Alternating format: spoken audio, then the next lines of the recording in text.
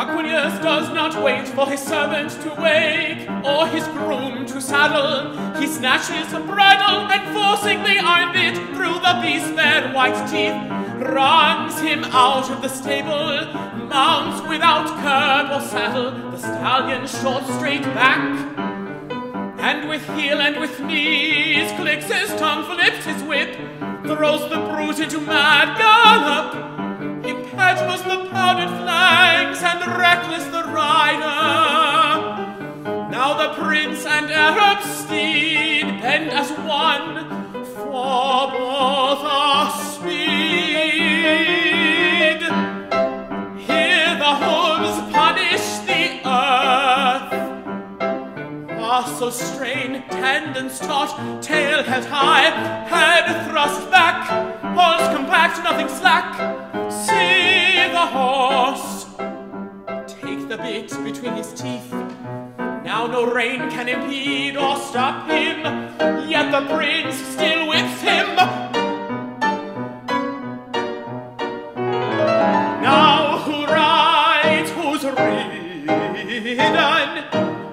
Tarquinius the stallion or the beast? Tarquinius, in both blood furious, with desire impetuous, burns for it Itwaetus.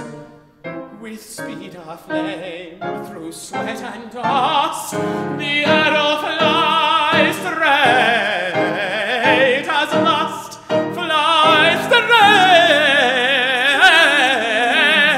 as lust.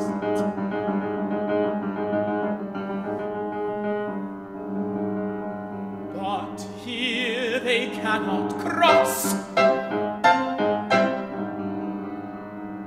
Back, Tarquinius.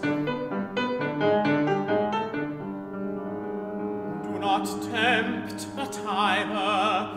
Try to swim this river. Stallion rears whose palm the stars.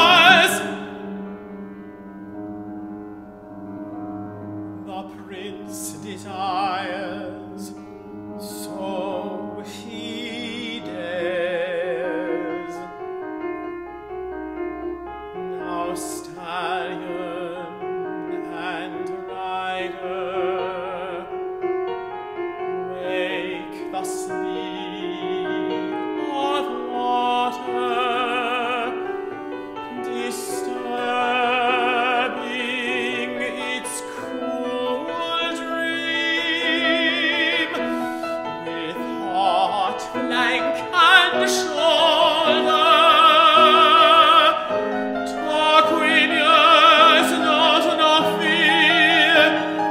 cross